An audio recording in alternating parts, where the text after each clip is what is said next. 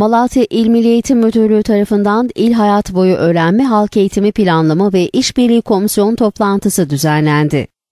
Öğretmen evinde düzenlenen toplantıda konuşan Vali Süleyman Kamçı, öğrenmenin hayat boyu devam ettiğini belirterek eğitimin okulla sınırlı kalmadığını söyledi.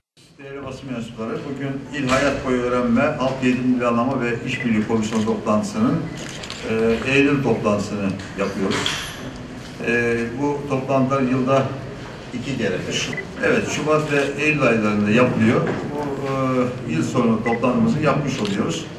Ana amacımız e, burada halk eğitim olarak yapılan çalışmaları yaygın eğitim olarak yaptığımız çalışmaları değerlendirmek, kurul üyelerinin bu konuda önerileri, teklifleri, e, onları belirli bir e, düzen içerisinde burada değerlendirmek.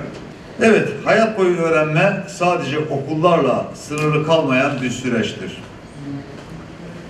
Bu nedenle de evde, işte, hülasa sosyal hayatın e, bütün kesimlerinde, bütün yaşamının her alanında e, hayat boyu öğrenmeye devam edilmektedir. Kamçı'nın konuşmasının ardından Malatya İl Milli Eğitim Müdürü Ali Tatlı, sunum eşliğinde sürdürülen çalışmalar hakkında bilgi verdi.